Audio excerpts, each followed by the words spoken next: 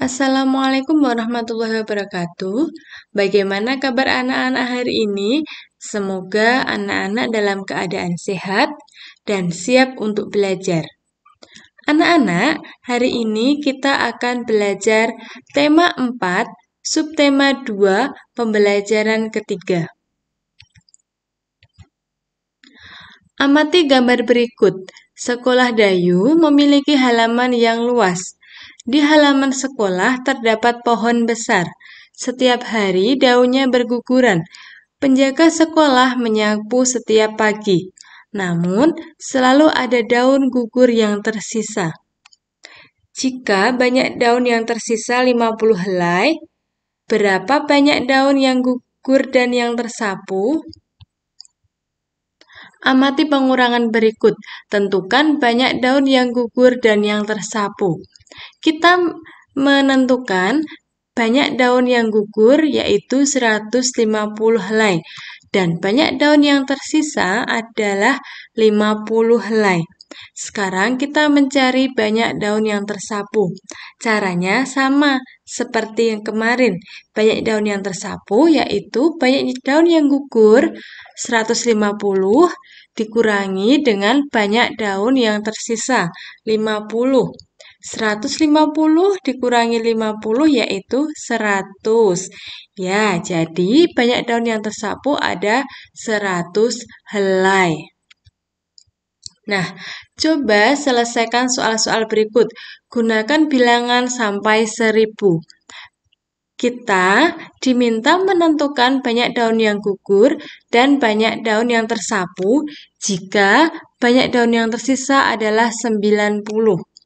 Bu Guru menentukan bilangan yang pertama yaitu banyak daun yang gugur ada 690 helai. 690 dikurangi 90 yaitu ada 600. Jadi banyak daun yang tersapu ada 600. Selanjutnya, banyak daun yang gugur, Bu Guru misalkan ada 700. Jika banyak daun yang tersisa 90, berapa banyak daun yang tersapu? Caranya masih sama dengan pengurangan bersusun. 700 dikurangi 900, hasilnya berapa anak-anak? Ya, ada 610. Nomor 3, misalnya Bu Guru menentukan uh, bilangan atau banyak daun yang gugur yaitu ada 230.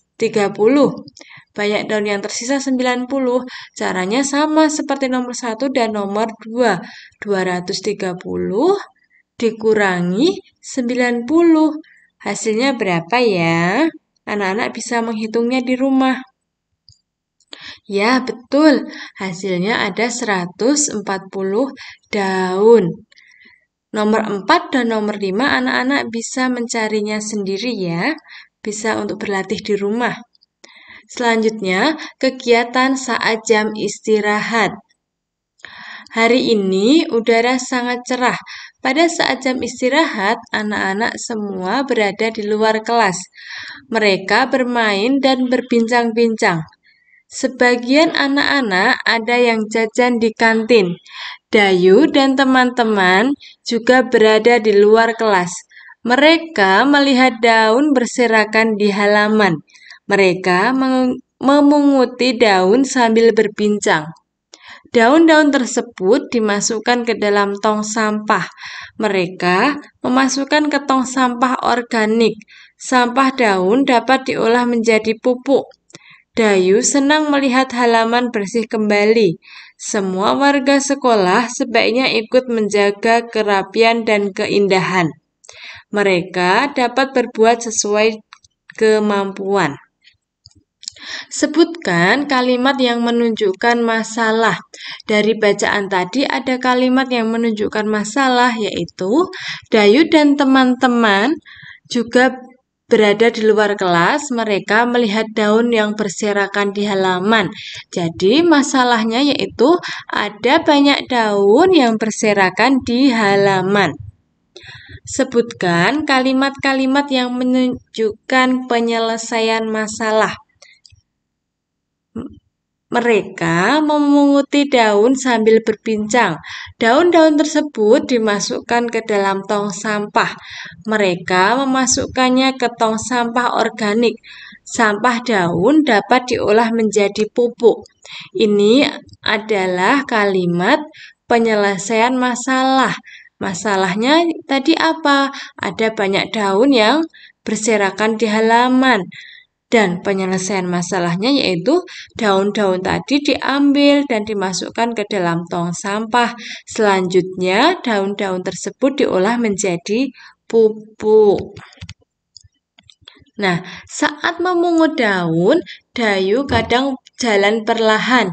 Sesekali ia menghentakkan kaki. Ia bergerak ke samping kanan dan ke kiri. Ia juga bergerak maju dan mundur. Gerakan dayu bisa dirangkai menjadi sebuah tarian sederhana. Masih ingatkah kamu gerakan-gerakan tari yang pernah kamu pelajari? Di pertemuan sebelumnya, anak-anak sudah belajar tentang gerakan tari ya. Anak-anak bisa mengingat-ingat kembali dan bisa memperagakannya bersama dengan teman-teman di rumah. Anak-anak ketika bermain dengan teman-teman di rumah bisa uh, mempraktekkan gerakan tari yang sudah dipelajari. Nah, sampai di sini materi kita hari ini. Terima kasih atas waktu anak-anak. Selamat belajar dan jangan lupa mengerjakan LKPD hari Rabu. Wassalamualaikum warahmatullahi wabarakatuh.